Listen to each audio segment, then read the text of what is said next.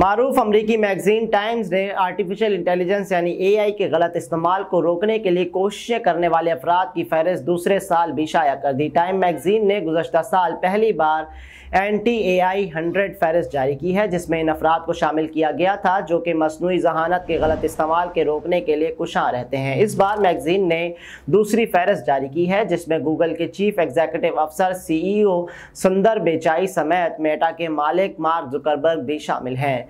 फहरिस्त में सऊदी अरब और मुतहदा अरब अमारात यानी यू के मुख्तलिफ़ सरकारी इदारों के सरबराह भी शामिल हैं, जबकि फहरिस्त में दुनिया भर के टेक्नोलॉजी इदारों के मुलाजमीन सरबराहों समेत ए आई के गलत इस्तेमाल को रोकने के लिए जदोजहद करने वाले कारकुनान भी शामिल हैं। फहरिस्त में ओपन ए आई के बानी समेत इसी कंपनी के अहदेदारों के नाम भी शामिल हैं। टाइम हंड्रेड ए आई की फहरिस्त में बॉलीवुड के वाहिद अदाकार अनिल कपूर को भी शामिल किया गया है, जबकि इसमें हॉलीवुड अदाकारा स्कारलेट जॉनसन को भी शामिल किया गया है।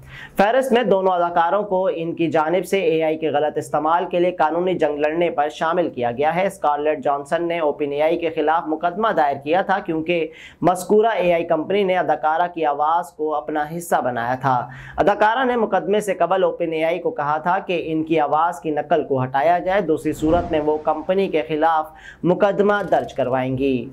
अदाकारा ने मुकदमा किया कि कंपनी ने पहले इनसे आवाज़ रिकॉर्ड कराने के लिए रबता किया था, लेकिन इनका इनकार के बाद इनसे मिलती जुलती आवाज़ बनाई गई, जिसमें वो परेशान हैं और अदालत ने अदाकारा के हक में फैसला सुना दिया था। इसी तरह अनिल कपूर ने भी एआई के गलत इस्तेमाल के लिए अदालत से रुजू किया था और तहफ़ मांगा था कि इनका नाम, आवाज़ और तस्वीर और वीडियोज़ को इनकी इजाज़त के बगैर किसी भी ए प्लेटफॉर्म पर इस्तेमाल ना किया जाए और अदालत ने इनके हक में भी फैसला दिया था।